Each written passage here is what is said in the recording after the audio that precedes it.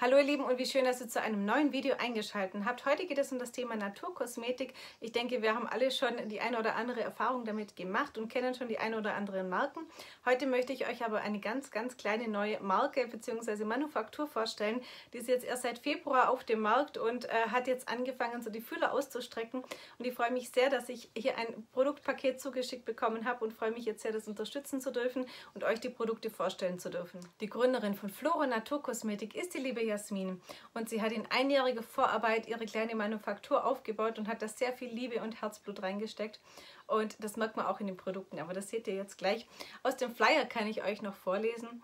Tue deiner Gesundheit etwas Gutes und schone dabei gleichzeitig die Umwelt. Das ist so das Credo des Ganzen. Und Jasmin kenne ich auch persönlich. Auf diesem Sessel, den ich hier so immer am Schminktisch stehen habe, ist sie auch schon gesessen bei einem Auftritt von unserem Chor. Und da bin ich im Chor gewesen und habe gesungen und sie war die Moderatorin des ganzen Abends. Das war richtig, richtig schön und da erinnere ich mich noch total gerne dran. Was jetzt noch weiteres auf dem Flyer steht, die Kosmetikprodukte sind verpackt in plastikfreien Pfandbehältern aus Glas, Leinen und Blech. Und das habe ich irgendwie noch nie erlebt.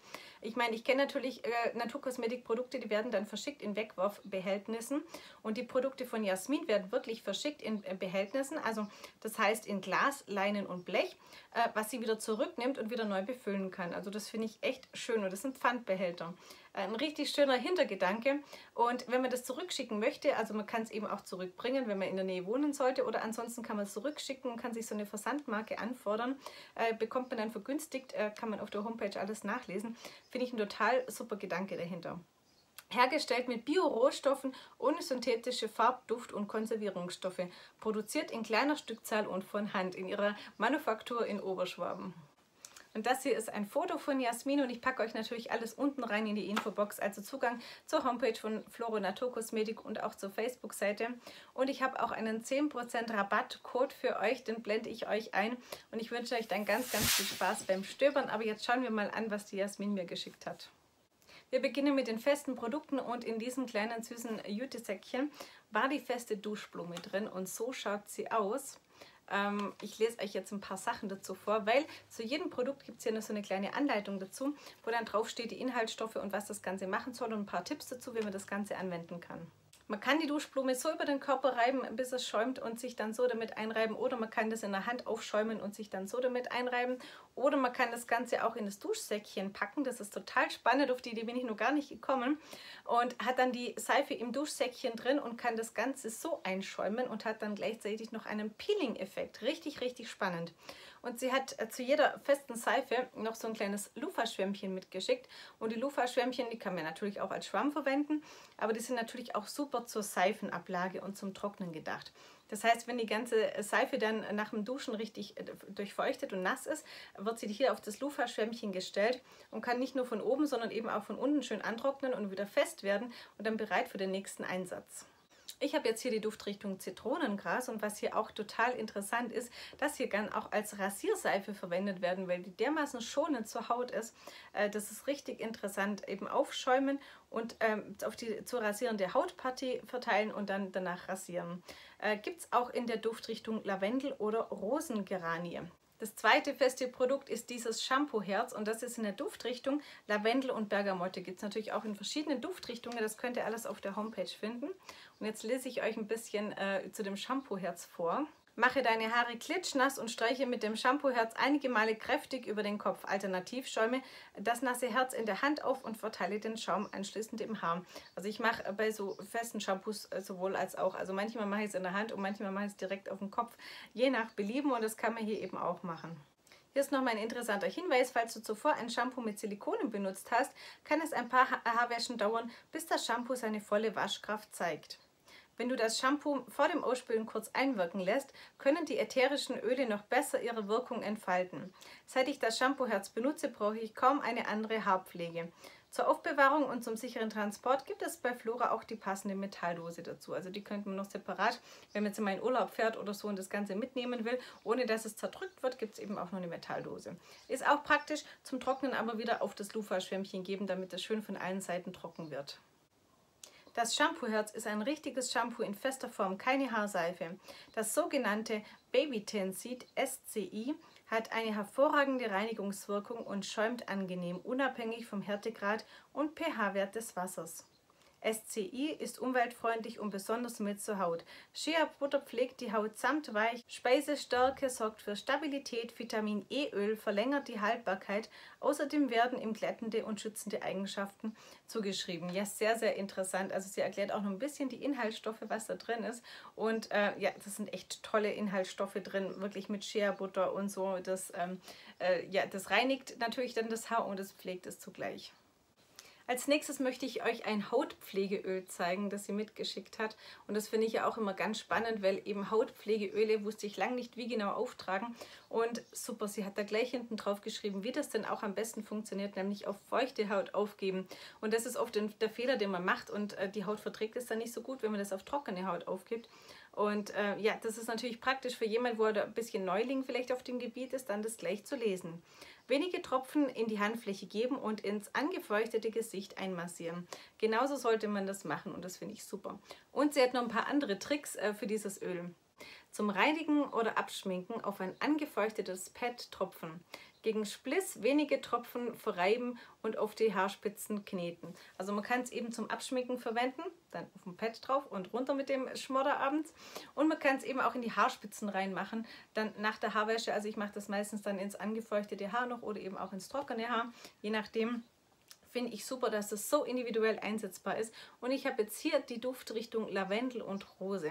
Ich denke mal, dass das wie bei den anderen Duftrichtungen auch nicht zu stark ist. Also ich rieche jetzt mehr Rose raus als Lavendel, aber es riecht sehr, sehr dezent. Ich denke, damit können alle was anfangen, auch diejenigen, wo jetzt die Duftstoffe nicht unbedingt im Gesicht mögen, weil das wirklich sehr, sehr dezent ist.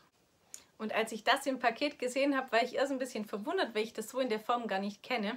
Das sind hier zwei rechteckige Döslein und da ist einmal Lippenbalsam drin und einmal Handbutter. Und das probieren wir jetzt zusammen aus. Der Lippenbalsam ist duftfrei und man kann den Deckel auch ganz abnehmen oder eben nur so halb und dann wieder draufschieben. Das ist so ein richtig tolles System.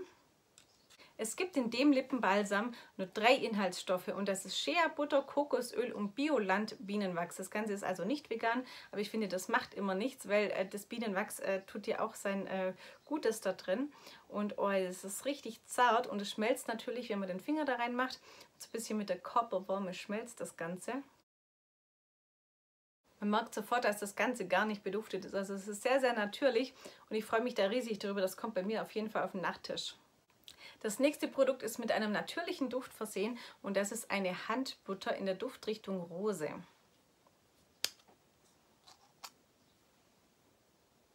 Auch die schmelzt von der Körperwärme, also man reibt ein bisschen durch und dann schmelzt das Ganze und dann kann man sich das dann auf die Hände auftragen.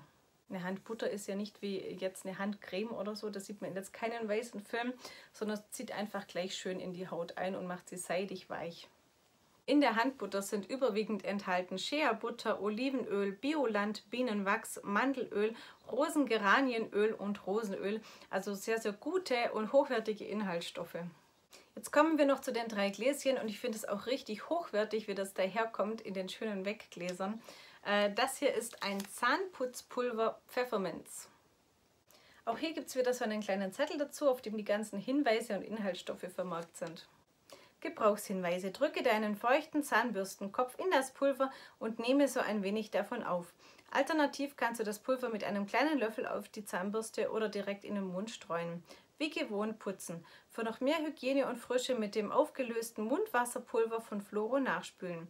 Das Zahnpulver schäumt kaum. Also muss man natürlich wissen oder auch mögen, dass das Pulver nicht schäumt. Ich hatte schon diverse Zahncremes, äh, Zahnpastas, wo nicht geschäumt haben und ich hatte kein Problem damit. Also ich hatte auch welche drin, wo dann so ein bisschen kreidig waren, wahrscheinlich so wie das wahrscheinlich auch sein wird, aber ich hatte da irgendwie kein Problem damit. Mir ist immer nur wichtig, dass ich so ein frisches äh, Gefühl oder so ein, ja, einen frischen Geschmack im Mund habe dabei.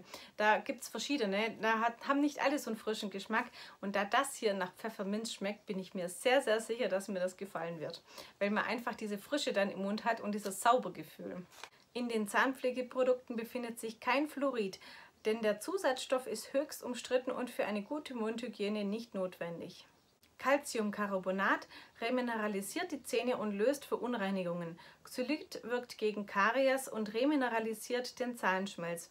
Natron kann Verfärbungen lösen, neutralisiert Säuren und hemmt Bakterienwachstum. Pfefferminzöl sorgt für frischen Geschmack und gutem Atem. Super, ich freue mich schon sehr, sehr drauf, das auch zu testen. Das ist für mich so ein bisschen der Exot unter den Produkten, weil die anderen kennt man schon äh, eher. Und ein Zahnputzpulver, ja, da bin ich noch nicht so äh, firm damit. Also ich habe schon einmal eins getestet, das ist aber schon wieder eine Weile her. Und deswegen bin ich jetzt auf das sehr, sehr gespannt. Das nächste Gefäß ist etwas größer und das hier ist eine Bodybutter gegen trockene Haut in der Duftrichtung Rose. Nimm die Bodybutter mit einem Spatel oder einem sauberen Finger aus dem Glas und massiere sie in die Haut ein. Zurück bleibt ein seidig weiches Gefühl. Bitte sparsam verwenden, die Butter ist reichhaltig. Ich verwende die Bodybutter auch als Nachtcreme für meine trockene Gesichtshaut. Morgens ist die Haut babyzart. Die Fette und Öle können sich bei Wärme trennen, dann einfach mit einem desinfizierten Löffel oder einem Spatel gut umrühren. Shea-Butter glättet und beruhigt trockene Haut. Kokosöl wirkt antibakteriell und macht die Haut geschmeidig. Mandelöl zieht in die tiefe Hautschichten ein. Olivenöl fördert die Elastizität und unterstützt das Bindegewebe. Vitamin E-Öl verlängert die Haltbarkeit. Außerdem wird ihm eine hautschützende Wirkung zugeschrieben. Probiere auch meine Bodybutter mit Lavendelduft oder duftfrei. Jetzt noch das letzte Produkt und auf das bin ich auch schon mega gespannt, das auszutesten. Das hier ist eine Deo-Creme mit Tonerde in der Duftrichtung Zitrone. Auch hier gibt es wieder einen Hinweis zur Verwendung. Nimm eine erbsengroße Menge Deo-Creme und verteile sie in der Achselhöhle. Die Creme schmilzt bei Hautkontakt und lässt sich so angenehm verteilen. Bei großer Hitze kann die Deo-Creme flüssig werden. In diesem Fall das Glas in den Kühlschrank stellen, sobald die Creme wieder ein wenig fester wird, aus dem Kühlschrank nehmen und mit einem desinfizierten Löffel gut verrühren. Probiere auch die Deo-Creme mit Natron statt Tonerde. Also da gibt es verschiedene Varianten. Kokosöl pflegt die Haut, wirkt antibakteriell und entzündungshemmend. Shea-Butter und Mandelöl pflegen die Haut geschmeidig. Tonerde bindet Schweiß und neutralisiert ihn. Starkes sorgt für Stabilität. Zitrone für einen angenehmen frischen Duft. Nach der Anwendung direkte Sonne und Solariumbesuche vermeiden. Inhaltsstoffe sind Kokosöl, Shea Butter, Mandelöl, weiße Tonerde, Maisstärke, naturreines ätherisches Öl äh, der Zitrone. Ja, also auch wieder sehr, sehr wenige Inhaltsstoffe. Und je weniger Inhaltsstoffe, desto natürlicher meistens auch. Also ja, super, ich bin mega gespannt auf die Produkte. Auf dem Flyer gibt es auch noch einen Hinweis, was alles im Online-Shop bestellbar ist. Nämlich Bodybutter für trockene oder normale Haut, Handbutter, Lipbalsam, Hautpflegeöle für trockene, normale oder fettige Haut. Deo-Cremes, festes Shampoo oder festes Duschgel, Zahnpulver, Mundwasserpulver, festes Handspülmittel und handgesiedete Naturseifen. Und ich denke auch, wenn man jetzt sich nicht sicher ist, welcher Hauttyp hat man oder wie geht es einem, welche Produkte passen denn wirklich gut zu einem, äh, Jasmin hilft da sicher gerne weiter und berät einen, weil so war es bei mir auch. Sie hat erst einmal gefragt, ja, welcher Hauttyp bist du, welchen Kopfhauttypen hast du und so und haben wir ein bisschen uns ausgetauscht. Also sie ist da auch sehr gerne bereit, Beratung zu übernehmen. Entweder dann eben, ähm, es ist auch hier eine Telefonnummer angegeben, eine E-Mail-Adresse, dann einfach anrufen, anschreiben und sie ist da sicher jederzeit bereit, in einen guten Austausch zu gehen und euch mit Rat und Tat zur Seite zu stehen. So ihr Lieben, das war's. Ich habe jetzt alle Produkte gezeigt, die Jasmin mir zur Verfügung gestellt hat. An der Stelle nochmal vielen Dank an dich, liebe Jasmin. Und euch kann ich nur raten, schaut in dem Shop vorbei und man merkt die Liebe die sie da reingesteckt hat. In jedem kleinen Detail einfach, wie sie es zugeknotet hat und verpackt hat schon alleine. Also da merkt man einfach die Leidenschaft für die Produkte. Schaut gerne vorbei und wie gesagt, ihr habt einen Rabattcode mit 10%, den könnt ihr sehr, sehr gerne einlösen. Ich bedanke mich bei euch ganz, ganz herzlich fürs Zuschauen und wünsche euch noch einen wunderschönen Tag.